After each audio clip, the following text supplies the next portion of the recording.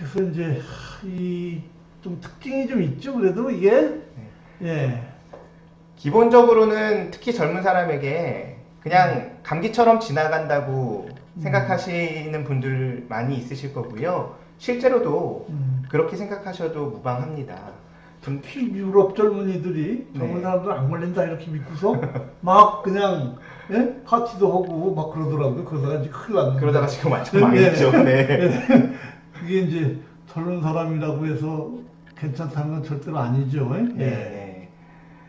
아, 일단 일반적으로 그런 감기처럼 지나가는 분들에게 큰 문제가 없는데 예. 폐렴이 되고 그게 더 중증으로 진행해서 네. 숨을 잘 쉬지 못하게 되는 상황으로 가면 그걸 급성 호흡곤란 증후군이라고 하는데요. 네. 그렇게 가는 사람들이 어떤 특징을 가지고 있는지 한번 조금 알아본 논문이 있어서 제가 정리를 해봤습니다.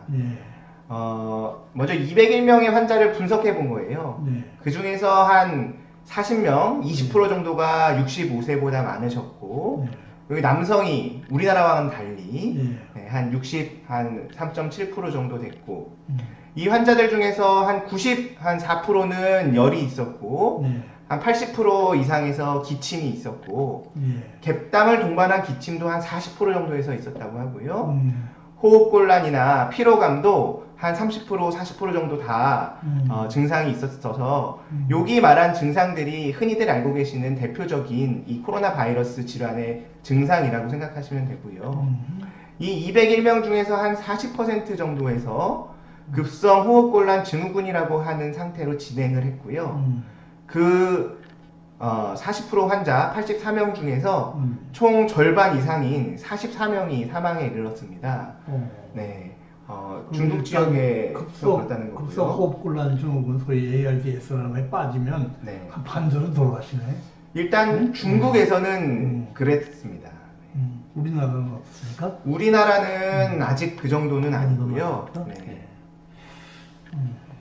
그래서 그러면 정말 어떤 사람이 급성 호흡곤란 증후군으로 많이 가느냐, 음. 즉 어떤 사람이 이 신종 코로나 바이러스 질환에 걸렸을 때 위험해질 수 있느냐, 음.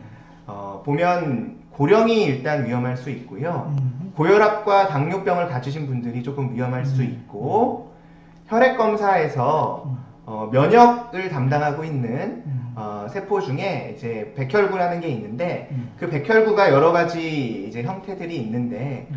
그 중에서 호중구라는 게 감소한 사람과 아, 호중구라는 게 이제 많이 늘어난 사람과 임파구라는 게 많이 감소한 사람이 상대적으로 중증으로 가는 경우가 많았고요. 음.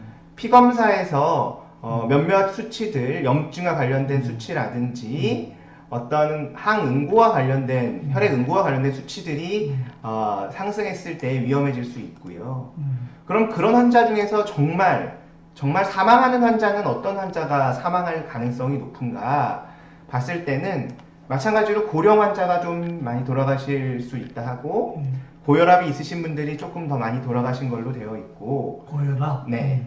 몇몇 피검사에서 음. 어, 뭐 간과 황달과 관련된 수치가 올라가신 분이라든지 음. 몇몇 이제 면역을 담당하는 수치라든지 응고 수치가 올라가신 분들 네. 또는 임파고와 관련된 수치가 감소한 분들이 사망이 이제 이를 가능성이 높다고 음. 일단 그렇게 정리가 됐습니다.